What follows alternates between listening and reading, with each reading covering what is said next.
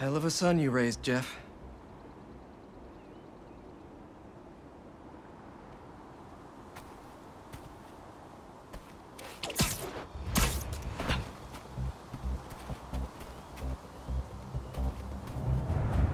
Parker Lux back with a vengeance.